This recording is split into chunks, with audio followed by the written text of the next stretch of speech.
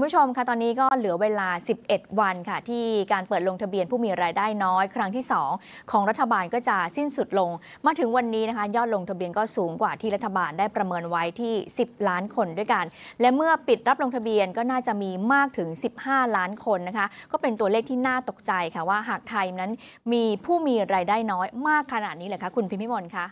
ค่ะ ถ้าเกิดว่ามากถึง 15 ล้านคนอย่างที่บอกนะคะ คิดเป็น 21%หรือว่า 1 ใน 5 ของประชากรไทยทีเดียวนะคะ แล้วก็ยังมากกว่าตัวเลขคนจนที่สภาพัฒน์บอกเอาไว้ว่า น่าจะอยู่ประมาณ 5 ล้านคนเท่านั้นค่ะ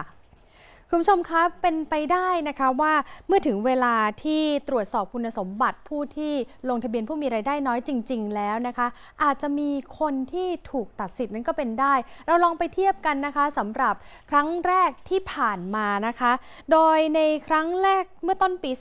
2559 มีผู้ที่ไปลงทะเบียนคนจนทั้งสิ้น8ล้าน3แสนคน แต่ปรากฏว่าผ่านคุณสมบัติแล้วก็ได้รับเงินช่วยเหลือจากรัฐบาลนะคะ7ล้าน7แสนคนคนที่ถูกตัดสิทธิ์ไป 6 0แสนกว่าคนตอนนี้น่าแปลกใจนะคะว่าจำนวนผู้ลงทะเบียนนั้นมากเกินเป้าหมายทั้งๆทที่มีการกำหนดคุณสมบัติ ผู้มีรายได้น้อย เพิ่มจากเดิมหลายข้อเป็นการคัดกรองนะคะ อย่างเช่น ต้องไม่มีบัญชีเงินฝากธนาคาร หรือสลากออมสิน หรือสลากทกสเกิน 1 0 0 0 0แสนบาท ถ้าเป็นเกษตรกรก็ต้องมีที่ดินไม่เกิน 10 ไร่ มีบ้านส่วนตัวต้องไม่เกิน 35 ตารางเมตร หรือว่าที่ดินไม่เกิน 25 ตารางวา ถ้าเกิดว่าในครั้งนี้จำนวนผู้ลงทะเบียนมากนะคะ การตรวจสอบก็จะต้องยิ่งเข้มข้นมากขึ้น แล้วก็ใช้เวลาในการตรวจสอบนานมากขึ้นด้วยนะคะ 1 ตุลาคมที่จะมีการช่วยเหลือนั้นอาจจะล่าช้าออกไปหรือไม่ และการคัดกรองค่ะจะถูกตั้งคำถามว่าน่าเชื่อถือมากน้อยแค่ไหน สามารถตรวจสอบไปถึงที่พักอาศัยของผู้ลงทะเบียนได้หรือไม่ ถ้าเกิดว่าสงสัยว่าบุคคลคนนี้นะคะ ไม่ใช่คนจนจริงค่ะ นักวิชาการจากทีดีไอนายสมชัยจิตสุชน ผู้อำนวยการวิจัยด้านการพัฒนาอย่างทั่วถึงตั้งคำถามว่า ถ้าคนลงทะเบียนมากขนาดนี้ รัฐบาลจะช่วยได้ถูกคนหรือไม่ การที่รัฐบาลไม่ใช้เส้นความยากจน แต่ไปใช้เส้นเกณฑ์รายได้นั้นอาจจะรับรองไม่ได้นะคะว่าเป็นผู้ที่มีรายได้น้อยอย่างแท้จริง ขณะเดียวกันนอกจากรายได้ที่ต่ำแล้วก็ยังต้องไปดูมิติภาระครอบครัวด้วยนะคะ อย่างเช่น ถึงแม้ว่าจะมีรายได้เกิน 1 0 0 0 0แสนแต่มีลูก 5 คนต้องเลี้ยงดูรายได้ 1 0 0 0 0แสนก็จะน้อยเกินไปนะคะเขาก็ควรจะได้รับสิทธิ์นี้เช่นกัน ส่วนมาตรการดูแลความเป็นอยู่ที่รัฐบาลเปิดเผยออกมาตอนนี้นะคะ แบ่งเป็น 2 กลุ่มก็คือ คนที่มีรายได้ต่ำกว่า 30,000 บาทต่อปี และกลุ่มที่มีรายได้ต่ำกว่า 1 0 0 0 0 0บาทต่อปี เบื้องต้นสวัสดิการพื้นฐานอย่างเช่น รถเมล์รถไฟฟรี ค่าน้ำค่าไฟค่าแก๊สนั้นน่าจะเหมือนเดิมนะคะ แต่อาจจะมีสวัสดิการบางอย่างที่แตกต่างออกไป อย่างเช่น ผู้มีรายได้ต่ำกว่า 30,000 บาท อาจจะมีการให้เงินเพื่อช่วยในการดำรงชีพ แต่ว่าจะให้ไปเท่าไหร่ก็ขึ้นอยู่กับการพิจารณา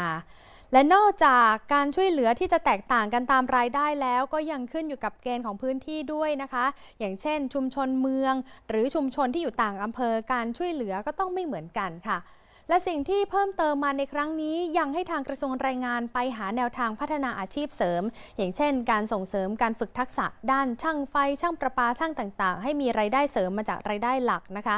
แล้วก็ให้ทกสธนาคารอมสิน ธนาคารอาคารสงเคราะห์ SME Bank นะคะไปหามาตรการเพิ่มรายได้ให้กับลูกค้าของตัวเองด้วยค่ะ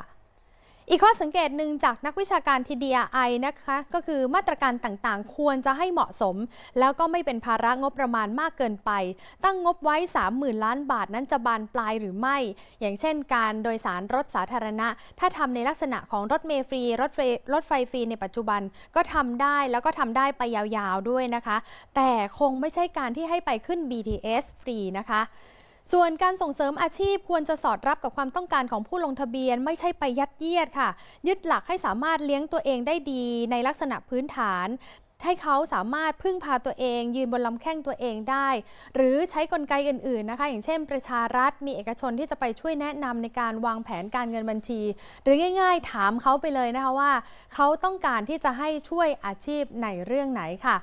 และหากยอดลงทะเบียนถ้าเบ็ดเสร็จแล้วนะคะถึงวันที่ 15 ตัวเลขจริง ๆ 10ถึง15 ล้านคน เรื่องนี้ถ้าเป็นตัวเลขจริง รัฐบาลอาจจะต้องคิดหนักนะคะว่าตกลงแล้วประเทศไทยเป็นประเทศที่มีคนจนจำนวนมาก และเราจะหลุดพ้นจากประเทศที่มีรายได้ปานกลางได้อย่างไรค่ะค่ะก็ถือว่าเป็นความท้าทายของรัฐบาลเหมือนกันที่จะให้ประเทศไทยนั้นหลุดพ้นจากภาวะตรงนี้ให้ได้นะคะ ขอบคุณค่ะ คุณพิมพ์มนค่ะ